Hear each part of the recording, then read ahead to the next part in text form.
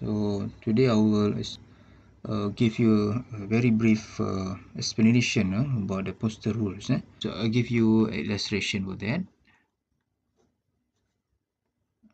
Okay, this is illustration. They say in the first case, uh, when there is an offer and an acceptance, eh, in normal case, when the offerer, for example, offers to sell his house to the offeree, right? So once he uh, so the communication of on offer is not effective eh, until the offeree knows about the uh, the offer eh, to sell the the letter uh, the, the the house right uh. but for the offeree for the communication of the acceptance right to be effective it's not necessary that the offerer in this case it's not necessary for the offerer to be uh, to make it known eh? To be communicated lah meaning to say once the offeree eh offeree accept to buy and post the letter right?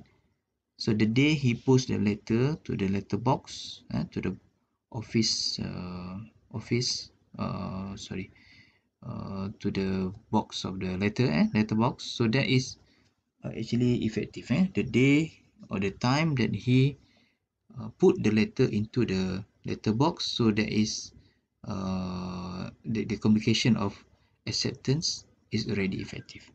Okay right. So irrespective of when uh, the, the the letter uh, arrive to the offerer right? Okay okay. So number one is is of acceptance number two if there is a revocations right? If there is a revocation of of of, of proposal eh? Let's say the offerer uh, make up his mind and then they want to uh, revoke the proposal. So the rule is that the revocation of proposal must be communicated to the to the offeree. Okay? Uh, number one must be communicated. And number two the condition is that that communication of revocation of proposal or offer must be made before the offeree made acceptance eh to buy before the offeree put the letter to the uh, put the letter into the letter box eh to the board office lah eh uh, so that is the rule for the revocation proposal and also for the revocation of acceptance eh? Okay.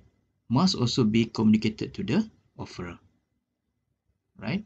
To the offerer. Okay number one. Right and the the the condition is that it must be made before the offerer receive the letter of acceptance okay.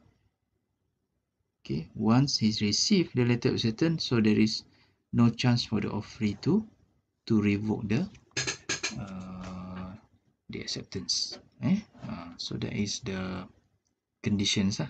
Uh, so how to uh, make a revocation of acceptance how he uh, quickly so you have the offerer has to be wise lah offeree ha has to for example has to call the offerer at once lah saying that he wants to revoke the acceptance eh? Uh, so once the letter of of acceptance eh if the letter of acceptance received by the offerer so the offeree cannot cannot do any anymore eh?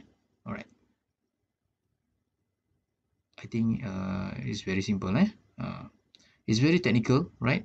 Uh but if I through this illustration I think uh you uh you better you know you understand more lah. A bit uh, clearer eh, about this. Okay thank you